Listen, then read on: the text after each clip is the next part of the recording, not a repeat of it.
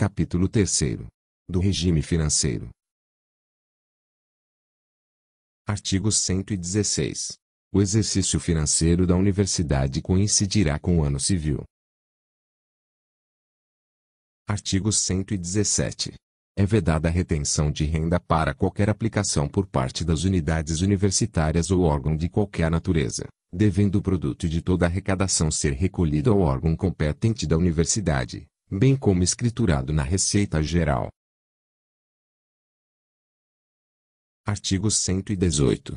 Para a organização da proposta orçamentária da universidade, as unidades orçamentárias remeterão à reitoria a previsão de suas receitas e despesas para o exercício considerado, devidamente discriminadas e justificadas, de acordo com as normas estabelecidas pelo Conselho Universitário.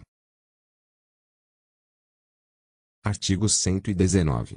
A proposta orçamentária geral da universidade, compreendendo a receita e a despesa, depois de aprovada pelo Conselho Universitário, será remetida ao órgão central de elaboração do orçamento da União e ao Ministério da Educação, a fim de servir de base à fixação dos recursos a serem concedidos pela União. Parágrafo único.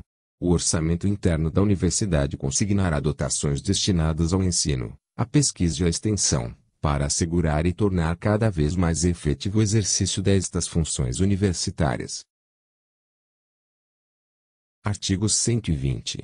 De acordo com o valor das dotações globais que a União efetivamente conceder para a manutenção da universidade, a reitoria promoverá a elaboração da proposta de orçamento interno, articulando-se, previamente, com os diretores das diversas unidades.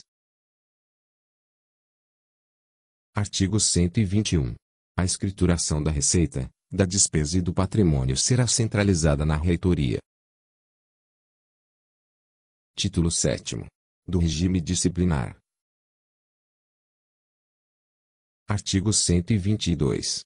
Caberá à administração central, às unidades de ensino e os demais membros da comunidade universitária a responsabilidade da fiel observância aos preceitos condizentes com a ordem e dignidade da educação superior.